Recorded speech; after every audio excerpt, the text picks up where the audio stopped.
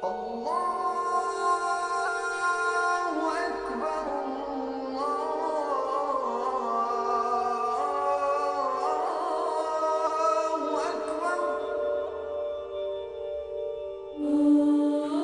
to Understanding Islam.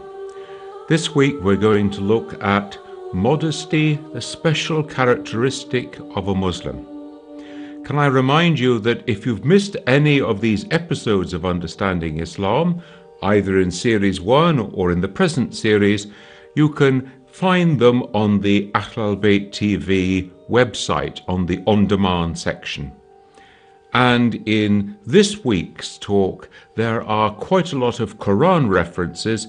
And if you want to find those, then you need to go and download the article that goes with this talk from my own website. So there was an occasion in which Prophet Muhammad was asked about different religious communities. And he said that different religious communities had different characteristics.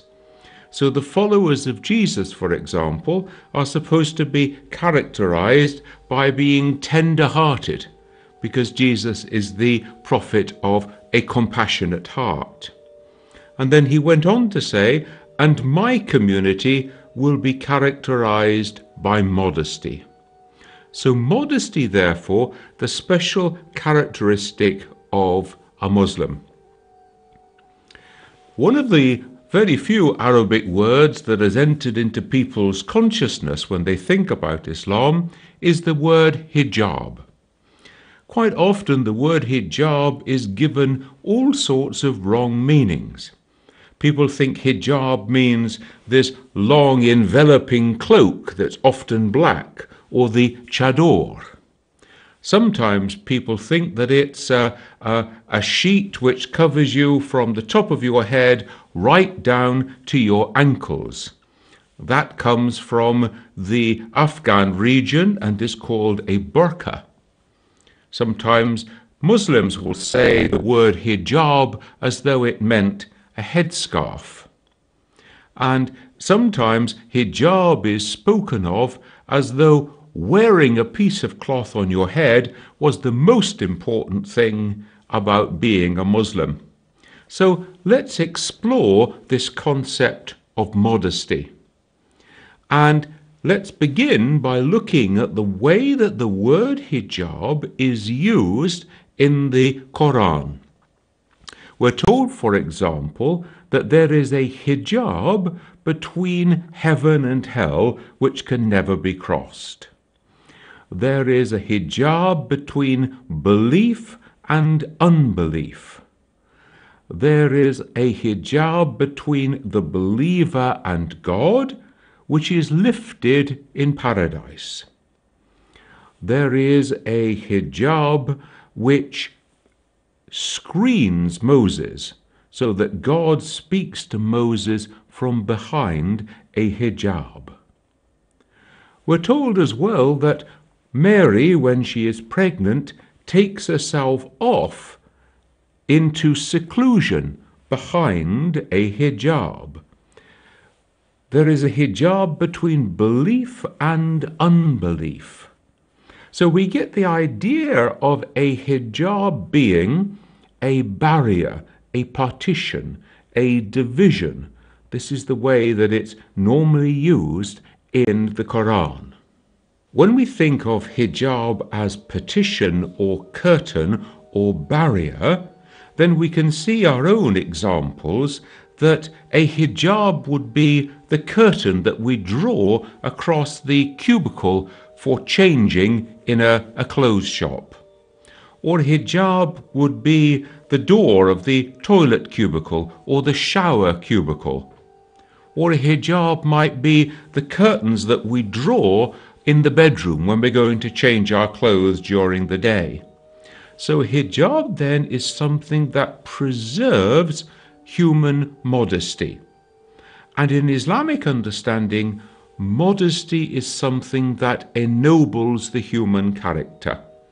So it's not just something for Muslims, but it is an essential quality of being human, that it ennobles and dignifies the human character. We meet the term hijab, meaning curtain, in the Quran in a particular instance when Prophet Muhammad, on his wedding night with Zainab, had invited people to come back and eat together after the marriage. And they overstayed their welcome. And so we're told that he went off for a walk, hoping that they would take the message. And he came back and they still hadn't gone. And then he went off again and came back. And eventually they got the message. And he drew a hijab across the room to divide it between the intimate sphere, where he was going to be with his wife, and the public sphere, where he other people could come, where he could be consulted by people. So that we get the idea of a hijab or curtain dividing off different spheres of human activity. Now, we can actually think of three spheres in this sense. There's the intimate sphere, which is the marital bedroom. There is the family sphere. We're all family together. And then there's the public sphere. That is, when anybody is welcome to be present. Now, if you think about it, different sorts of behavior, of speech, and of dress are appropriate in these three different spheres. So we can think of the kind of conversation that one might have in the intimate sphere, one wouldn't have in the public or in the family sphere. The way that one dresses in the family sphere may not be the same as the way that one dresses in public when other people are present. So we can think of being divided then into three spheres in which there's a different code of conduct for each a code of speech, of actions, and of dress. Each of these being divided by a hijab. So, in Muslim understanding, modesty is a human characteristic that ennobles the human being. But Muslims are particularly called to show an exemplary form of modesty in their speech, in their actions, and in their dress, as though they are pointing to this human quality by the way that they conduct themselves. So, Muslims are opposed to public nudity, for example. So, changing rooms should have private cubicles, not communal changing rooms for everyone, even in the way that dead bodies are prepared for burial. So that a dead body is to be washed by people from the same sex, and indeed the body is to be washed underneath the covering of a sheet, so that you do not gaze in death upon that which you shouldn't gaze on in life. So, a very real sense of modesty ennobling human condition. When the Quran comes to speak about this concept, the first verse is addressed to men, and it says, You are to lower your gaze, to guard your modesty, and God knows best what you do. And then the same verse is repeated again to women. So modesty is something for the human being, it's not a concern for women. The Quran begins by saying you are to lower your gaze so that we can see the eyes are the way in which external images enter into our hearts, enter into our human condition. If you look at things that are going to provoke all sorts of thoughts which are immodest, then you're going to be feeding these lower desires within oneself. To be sexually attracted to someone is a natural part of being human. But the Muslim tradition is saying we must discipline that. We must rise above just giving in to our natural attractions. Now, unfortunately, advertisers also know about this. And the way that they provoke us and make us want to buy their goods is by showing us images. The images can be shocking, they can contain nudity, they can be provocative, they grab our attention so that we want to buy their things. This sort of visual temptation then leads to desire, and the desire leads to action. So, this we can call then hijab of the heart. The way that our heart expresses its deeper emotions is with our tongue. This is the way that we speak, not just the content of our speech, but also the manner of our speech we can say things in a way that is flirtatious, that elicits a sexual response from somebody else. So both content and manner of speech must be brought under control and discipline in this way. But not just speech, but the way that we walk, the way that we stand, can provoke immodest thoughts in other people. They're a way of showing the intention of our hearts. So, this stage we can call the hijab of the tongue and the hijab of the body. If we turn now to thinking about dress, I dress in a certain way, first of all to preserve my own modesty, but secondly to help other people preserve their modesty as well. So it's a two way process. There is no such thing as Islamic dress. The way that a Muslim would dress in uh, Iceland or in sub Saharan Africa or in Europe or in China would be very different, different by culture, different by temperature and climate. What there is, however, are Muslim principles for dress and these principles are then put into practice in different cultures, in different climates around the world. And these principles are essentially twofold. First of all, that the material from which our clothes are made should not be see through. And secondly, that they should be loose fitting.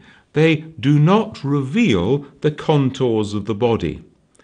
This is why you will often find Muslim men and women wearing garments that hang from the shoulder, like the Arab abaya, for example, or from the Indian subcontinent, the shalwar kameez, because they cover up the whole of the body and they do not reveal the contours, whether one's moving or sitting or going about one's normal practice. It is perfectly possible to cut, for example, a Western business suit in a way which conforms with Islamic principles.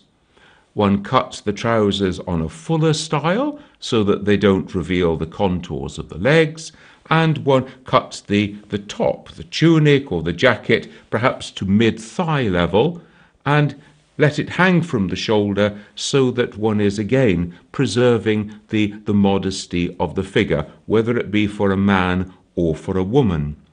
So the principle then, loose flowing clothes that hang from the shoulders and do not reveal the contours of the body. You see, the Islamic requirement is not that one looks dowdy. Beauty, we're told, God is beautiful and God loves things of beauty. Now, what is beauty and how is it different from attractive? Beauty somehow is a quality of the inner person that shines and radiates from them, whereas attraction is to draw somebody else's attention to some part of our body or to our whole selves. There is a, a saying of Imam Ali here in which he says that the beauty of our inner selves is more beautiful than that of our outer selves. So beauty somehow emanates from the inner self, the heart and spirit of the person. So what we're talking about here is being beautiful without being provocative in the way that one dresses or in the way that one conducts oneself. This idea of being beautiful, we can see this being played out when people go to the mosque. Especially when you go to the mosque and there's a large group of people there and it's going to be a fairly dense gathering, like on a Friday or for a big festival. People are told, first of all, make yourself pleasant to be with. So people take a shower, people put on clean clothes, they brush their teeth, they don't eat garlic or other things that are going to make their breath smell, so that they will be pleasant to be with. And then, when the men's ranks and the women's ranks have gathered together, it's not unusual that people will apply some perfume. Because you are making yourself beautiful for God, you are making yourself pleasant for other people of the same sex to be near, but you are not being provocative or making yourself alluring to other people of the opposite sex as you go on your journey to the mosque, for example.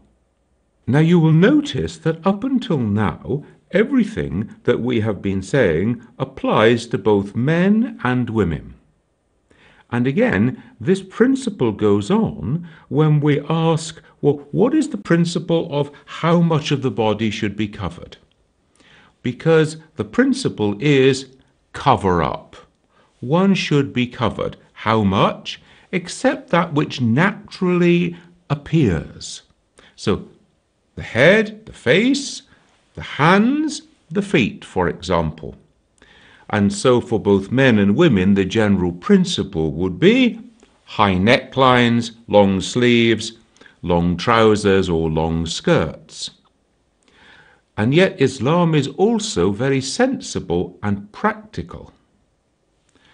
So, for example, men who are working in the field or who are doing heavy manual labor and are sweating a lot, or who are working in a, a dirty environment, are allowed to remove certain parts of their clothing, to roll their sleeves up, to roll their trouser legs up, even to take their shirt off, provided that they keep covered the private parts. Now, the private parts for a man are from the navel to the knees. And the same principle applies for women too, except that for a woman, the private parts include the top half as well. But obviously, a woman who is working away in a washing tub, for example, is going to be rolling up her sleeves when she is engaged in this way. So we see the principle then covering up except for that which naturally appears the hands, the feet, and the face. There is another verse in the Quran that is speaking to women. And it says that they are to not display their aura. Aura is a difficult word to translate. We normally need to call on several English words. Their allurements, their charms, that which attracts and provokes attention. These are aura.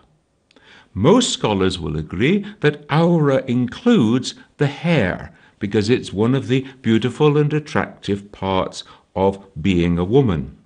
Therefore, it is reserved for that intimate sphere in which one is with one's partner in the marital bedroom, and it can also be shown in the family sphere The family sphere means with those people who are too closely related that they could not be possible marriage partners. So, for a woman, for example, she doesn't have to cover her hair in front of her children, in front of her brothers, in front of her father or her husband, but she would, for example, in front of her brother in law.